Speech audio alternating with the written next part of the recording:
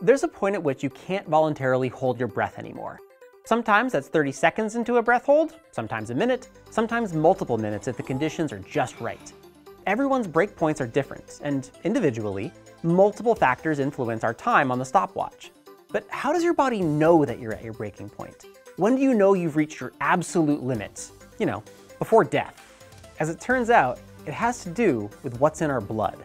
In this video, we'll go over the physiology that monitors your blood chemistry and keeps you breathing right. Quick disclaimer, I'm going to talk about intentional breath holding in this video, not choking or airway obstruction, which are emergencies.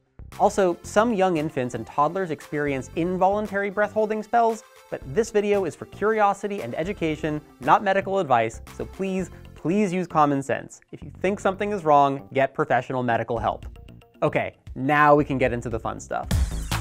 The whole point of breathing is so that our tissues can consume oxygen and glucose and turn them into energy, leaving water and carbon dioxide as waste products. This process, called cellular respiration, is essential to anything that breathes oxygen.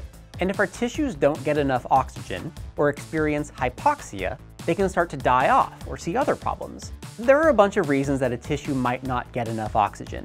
Like an iron deficiency might cause anemia, which means that less oxygen will be able to ride on each red blood cell and oxygenate your tissues. Hypoxia can also happen if there's not enough blood flow to a tissue, like when an artery is too narrow and doesn't deliver as much blood to its target tissue. Then there's high altitude, where oxygen isn't as easily available, but we'll come back to that later. Now, in a breath holding situation, it's pretty easy to see why you'd become hypoxic. You're not breathing, so you're not taking in any of that sweet, sweet oxygen. But we have to keep another gas in mind during breath holding, carbon dioxide. High CO2 levels in our blood, or hypercapnia, can cause symptoms like headaches and dizziness, but also more severe symptoms like paranoia, irregular heartbeats, and seizures. Hypercapnia can happen without breath holding too, like if you're in a submarine or just a stuffy room with the windows closed. Since neither hypoxia or hypercapnia are ideal, our bodies are constantly measuring and reacting to oxygen and carbon dioxide in the blood. That's where the carotid bodies come in, receptors embedded in the carotid artery in your neck that are triggered by certain chemicals. Since they measure our blood's chemistry, we call them chemoreceptors. Their positioning in the neck lets them sample arterial blood before it gets into the brain, which consumes a bunch of oxygen. These bodies take information about CO2, pH, temperature, and oxygen to give your body an idea of what's happening in your blood. And their structure at the tissue level supports that. The carotid body itself is made of glial cells to give it some shape, which are hooked up to neurons that communicate information about the blood to the brain. When they detect hypoxia or hypercapnia, they'll kick off some kind of response in the cardiorespiratory system. And they work fast. They can detect hypoxia in just a few seconds. When the carotid bodies detect hypoxia, they communicate with the parts of your body that slow down heart rate.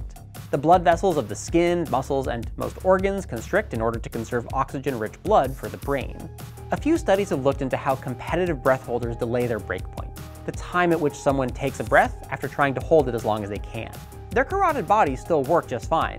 Their bodies still know they're hypoxic, but they're able to brute force their way to a longer hold. Sometimes the studies will look at how to delay breakpoint with some kind of distraction, like squeezing a rubber ball. But if these pro breath holders are able to suppress every last urge to breathe, they ultimately pass out, and reflexive breathing takes over again.